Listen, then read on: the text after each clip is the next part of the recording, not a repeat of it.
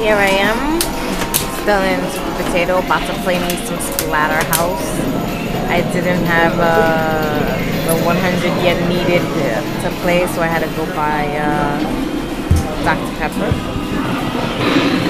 Crazy design on this Dr. Pepper here. And, um, but now I have enough to play some Splatterhouse.